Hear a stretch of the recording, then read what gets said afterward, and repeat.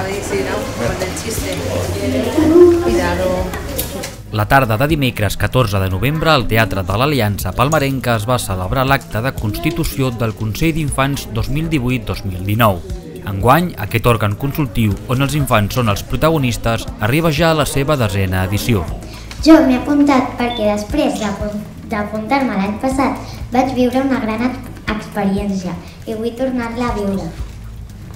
Hola, em dic Carlota i tinc 11 anys. M'he apuntat perquè vull ajudar a canviar la palma de Cervelló i crec que m'agradarà molt col- col·laborar amb els meus companys a canviar la palma. qui és el fundador, les funcions, la finalitat. L'Aina Baquet, dinamitzadora del Consell, porta càrrec del projecte des de l'any 2012, desenvolupant una tasca de treball continu que ha anat consolidant a poc a poc aquest òrgan participatiu que dona veu als infants del municipi. Hi ha, hi ha una estructura de sessions aproximadament. La primera sessions són de detecció de necessitats, d'idees, propostes que vagin sorgint i una mica eh, es va fent una selecció de les que són viables i les que no i que les, de les que es farà traspàs a, a nivell de referents polítics del projecte, com és l'alcalde i la regidora, que passaran cada un dels temes als referents de l'Ajuntament segons quina, quin tipus de proposta siguis. I d'aquí doncs s'anirà traient una mica quin és l'estat d'aquestes propostes i què es pot fer al respecte, de si hi ha alguna idea que es pot aportar des de l'Ajuntament al Consell del que podríem fer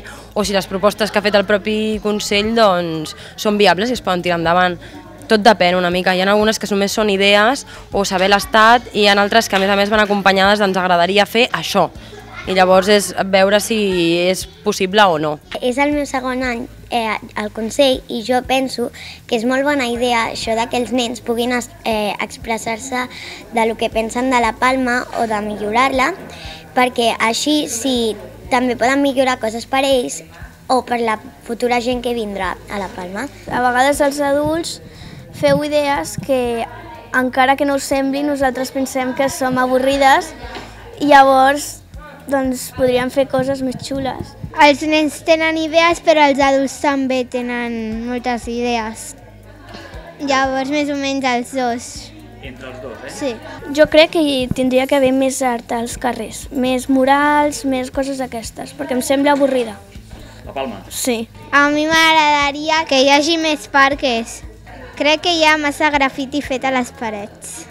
Potser als parcs fer, fer algunes coses més noves i menys perilloses. Als adults no li importa tant el parc ni el medi ambient, però els nens, com van a l'escola i aprenen coses sobre el medi ambient, li importa una mica més i volen netejar més el poble.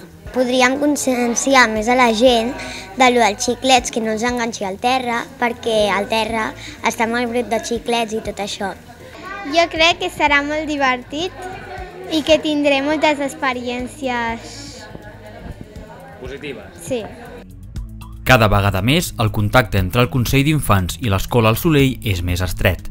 Això facilita la tasca a l'hora de fer més partícips amb el projecte als nens i nenes de 5è i 6è.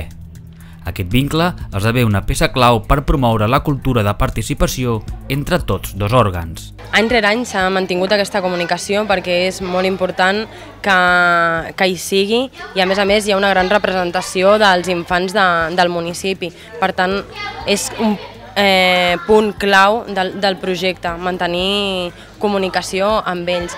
El que a més a més s'ha anat afegint poquet a poquet és que totes les fases del projecte passin per l'escola, és a dir, la fase de candidatures, de que es presentin voluntaris a participar en el projecte, que això ja es feia des de sempre, però a més a més doncs, també saber la, treballar eh, en els espais de tutoria, que està pactat des de l'escola, doncs eh, una mica el que s'ha fet en cada trobada, això cada cop s'està contemplant més i existeix aquest espai.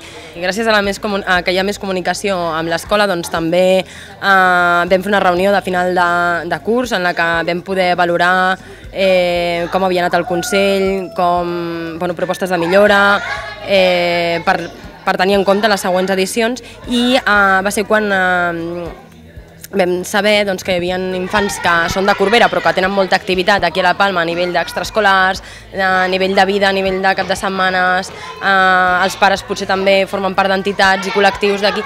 I bé, doncs coneixen molt la Palma i estan involucrats amb la Palma i s'ha considerat, es va valorar a nivell polític i s'ha considerat doncs, d'obrir-ho a infants eh, que encara que no visquin eh, i dormin a la Palma doncs, puguin participar en el projecte, mentre siguin alumnes del Soleil. Doncs que la podríem fer més gran perquè aquesta doncs, tingui una mica un impacte visual una mica més gran i, i doncs, eh, realment puguem